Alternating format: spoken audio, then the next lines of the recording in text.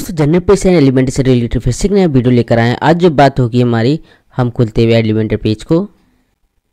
Divider विज़िट या कह सकते हैं फ़ंक्शन फीचर के बारे में। डिवाइडर यहाँ पर फ़ंक्शन फीचर क्या है एलिमेंटर में हम कैसे और क्यों यूज़ करते हैं? आखिर इसका यूज़ करने का फ़ायदा क्या है? इससे क्या बेनिफिट है? हम किस तरह की यहाँ पर डिज़ाइनिंग में हेल्प ले सकते हैं इसकी? डिवाइडर आखिर किस तरह काम करता है? जैसे कि रिसेंट वीडियो में आपको बटन के बारे में बता दिया है। तो आज जो बात होगी केवल डिवाइडर से रिलेटेड होगी तो एलिमेंटर में डिवाइडर जानने के लिए, सीखने के लिए, इसका यूज़ करने के लिए इस वीडियो को कंटिन्यू शुरू से क्लास तक ज़रूर देखें।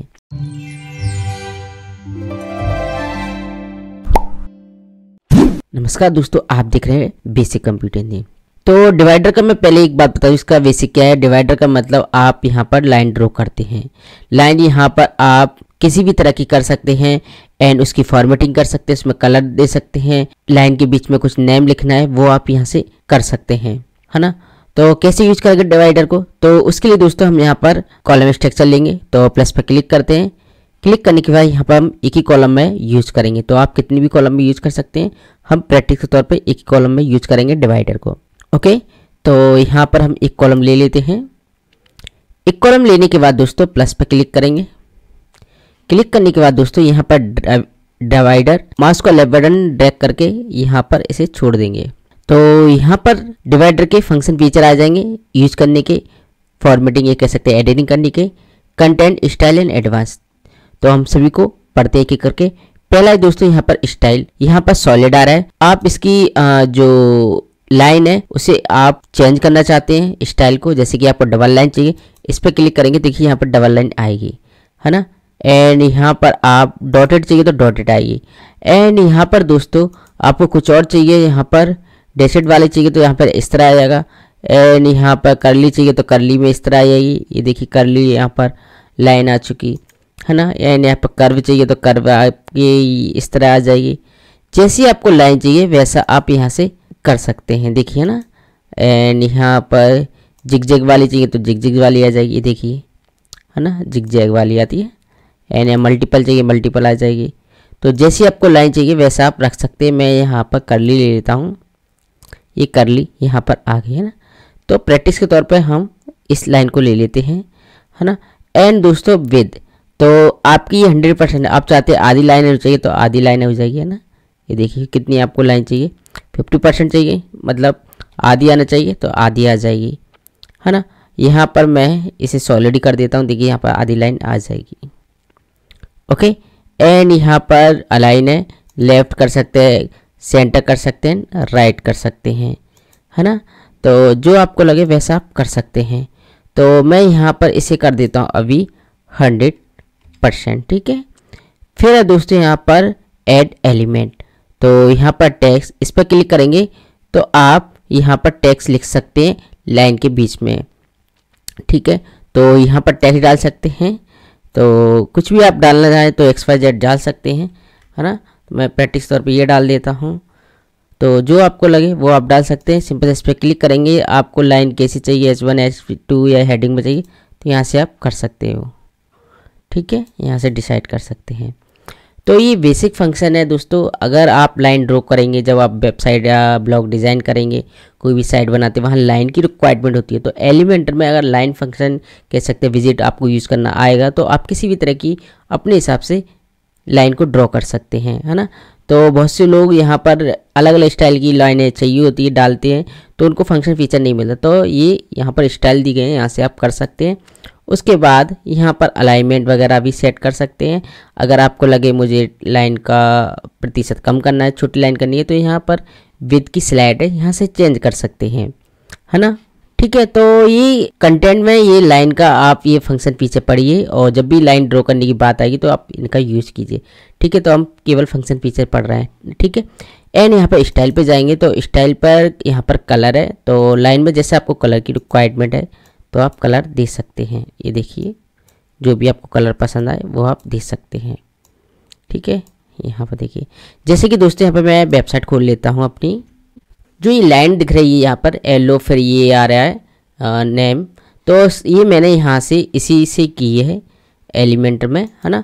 तो इस तरह की आपको लाइन ड्रॉ करनी है तो आपको ये फ़ंक्शन आना चाहिए। ये विज़िट यूज़ करना आना चाहिए। ठीक है? है ना? तो यहाँ पर आपका ये कलर हो जाएगा। अगर बिद आपको बढ़ानी है लाइन की देखिए बिद भी हो जाएगी। ये देखिए। ये देखिए, है ना? एंड यहाँ पर गैप आपको कम ज़्यादा करना है, यहाँ से आप कर सकते हैं। ये देखिए। एंड यहाँ पर टैक्स पर जाएँगे। तो आपका जो ये टैक्स है, इसे आप चेंज कर सकते हैं। इसका कलर आपको कुछ और देना है, दे सकते हैं। ऐसे कि आपको रेड चाहिए, इसका टैक्स कलर देखिए रेड आ गया। है ना? एंड यहाँ पर टाइपोग्राफी है इसकी। इस पर जाएँगे तो इसका टेक्स्ट का साइज़ बढ़ा सकते हैं कटा सकते हैं। इसका बोल्ड टाले कितना सॉरी इसका बोल्ड आपको कितना का चाहिए वो कर सकते हैं। एंड यहाँ पर transform upper case lower case वगैरह कर सकते हैं यहाँ से। है ना? सारी दी है। कैपिटलाइज करनी है या नॉर्मल करना है। तो टाइपोग्राफी है। टाइपोग्राफी में इससे रिलेटेड होता है। एंड नॉर्मल करना है या इटैलिक करनी है, यहाँ से आप कर सकते हैं ऑब्लिक भी कर सकते हैं। ठीक है, इसे डिफ़ॉल्ट रहने देते हैं। एंड डेकोरेशन में आप ये अंडरलाइन कर सकते हैं या ओवरलाइन भी कर सकते हैं। जैसी आपकी रिक्वायरमेंट हो, वैसा कर सकते हैं। मैं इसे डिफ़ॉल्ट रहने देता हूँ। लाइन हाइट आपको कैसी चाहिए, यहाँ से आप कर सकते हैं। लेटर स्पेसिंग ये देखिए। है ना? तो किसी किसी टेक्स्ट में लेटर स्पेसिंग आपको ज़रूरत है तो यहाँ से आप कर सकते हैं। पूरी आपको सेटिंग फ़ंक्शन यहाँ पर दिए गए हैं। वर्ड स्पेसिंग यहाँ पर कैसा चाहिए, वो आप यहाँ से कर सकते हैं। तो ये फ़ंक्शन फीचर की नॉलेज होगी तो लाइन अपने हिसाब से सेट कर सकते हैं डिज़ाइन कर सकते हैं फॉर्मेटिंग कर सकते हो इसकी है ना? तो ये चीज़ें आनी चाहिए, ठीक है? एंड यहाँ पर फिर है टेक्स्ट स्ट्रॉक इस पर क्लिक करेंगे तो यहाँ पर टेक्स्ट स्ट्रॉक कर सकते हैं। कितना आपको चाहिए यहाँ पर टेक्स्ट स्ट्रॉक ठीक है? ठीक है तो मैं इसे डिफ़ॉल्ट रहने देता हूँ, इसमें कुछ डिस्टर्ब नहीं करता। पोजीशन तो पोजीशन का मतलब दोस्तों, जैसे कि यहाँ पर हिंदी लिखा है वर्ड है ना या लाइन ड्रॉ आप ऐसा करना चाहते हैं तो देखिए दोस्तों, यहाँ पर है, इस पर क्लिक करेंगे लेफ़्ट में तो आपका ये टेक्स्ट इधर आ जाएगा लाइन इधर आ जाएगी। जैसे कि मैंने यहाँ पर किया है अपनी साइट के अंदर, है ना, बहुत सी साइट आपने देखा होगा, यहाँ पर कोई वर्ड लिखा होता है, ये, है ना, फिर लाइन ड्रॉ होती है, वो हमने यहाँ से इस तरह किया है। ओके, अगर इस तरह चाहिए तो इस तरह हो जाएगा सेंटर चाहिए तो सेंटर हो जाएगा।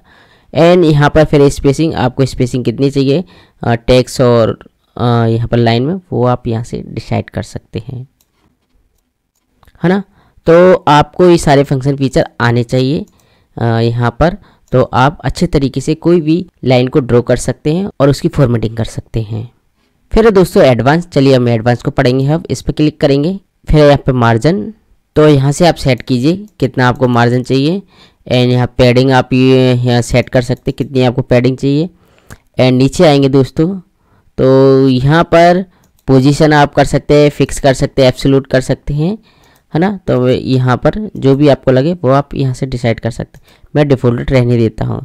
मोशन इफ़ेक्ट ये काम का है। जैसे कि अगर आपको लगे मुझे लाइन में कोई एनिमेशन इफ़ेक्ट देना है तो यहाँ से आप दे सकते हैं, है ना? बहुत से लोग लाइन में इफ़ेक्ट देते हैं तो आप यहाँ से दे सकते हैं। ये देखिए, है ना? एंड यहाँ पर ट्रांसफॉर्म में जाएँगे। तो यहाँ पर है रूटेट आप लाइन को रूटेट कर सकती हैं किसी भी तरह. थ्री का भी रूटेट है रूटेट है यहाँ पर. आप कैसा आपको चाहिए थ्री में, वो आप यहाँ से कर सकते हैं. देखिए, है ना? ये देखिए, है ना? ये देखिए. जैसा आपको लगे वैसा आप यहाँ से कर सकते हैं, है ना? तो हम इसमें अभी कुछ ऐसा यहाँ पर नहीं करेंगे. हम इसको पहले ऐसा कर देते हैं. तो ऑप्शन दिए गए हैं तो आप इनको अपने हिसाब से कर सकते हैं, है ना? इस साइड में करनी है तो यहाँ पर साइड कर सकते हैं। Offset Y offset यहाँ पर एक्स है है ना? हॉरिजेंटल यानी कि वर्टिकल एक्स वाई यहाँ से आप डिसाइड कर सकते हैं।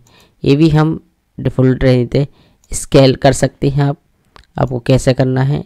यहाँ पर देखिए, ये चौड़ी हो रही है और ज़्यादा, यानी यहाँ पर सेट हो जाएगी। तो जैसा आपको करना है, वैसा आप कर सकते हैं यहाँ पर। एंड यहाँ पर नीचे आएँगे। तो यहाँ पर फिर बैकग्राउंड कलर ये आपकी लाइन के बैकग्राउंड में जाएगा, ठीक है, जो विज़िट है उसके। इस पर जाएँगे, कैसा कलर आपको चाहिए, यहाँ से आप कर सकते हैं सेट ये देखिए। एंड यहाँ पर, ये देखिए। है ना? जो आपको लगे, वो आप यहाँ से कर सकते हैं। अगर आपको चाहिए इमेज डालना है तो इमेज यहाँ से आप डाल सकते हैं। ठीक है? एंड बॉर्डर पर जाएँगे तो ये बॉर्डर किस पर काम करेगा? आपके विज़िट के या कह सकते हैं फ़ंक्शन फीचर के जो है है ना? ये देखिए इस पर काम करेगा, जो आपने डिवाइडर यूज़ किया है, ये देखिए, है ना? एंड यहाँ पर बैकग्राउंड कलर कुछ ठीक नहीं लग रहा मुझे, मैं इसको सही कर देता हूँ, है ना? ऐसा कर देता हूँ, ठीक है? एंड मास्क है एंड यहाँ पर रिस्पॉन्सिव अगर दोस्तों आप अपनी इस लाइन को मोबाइल डिवाइसेस या कह सकते टैबलेट या डेस्कटॉप डिवाइसेस पर हाइड करना चाहते तो सभी को इनेबल कर दीजिए। अगर नहीं करना चाहते तो इनको डिसेबल रहने दीजिए। फिर C S S I D वगैरह है एट्रीब्यूट है ना, ये प्रीमियम वर्जन के फ़ंक्शन है है ना? तो फ्री के सारे फ़ंक्शन मैंने आपको पढ़ा दिए। तो इन फ़ंक्शन फीचर की नॉलेज होगी तो आप किसी भी तरह की लाइन को ड्रॉ कर सकते हैं।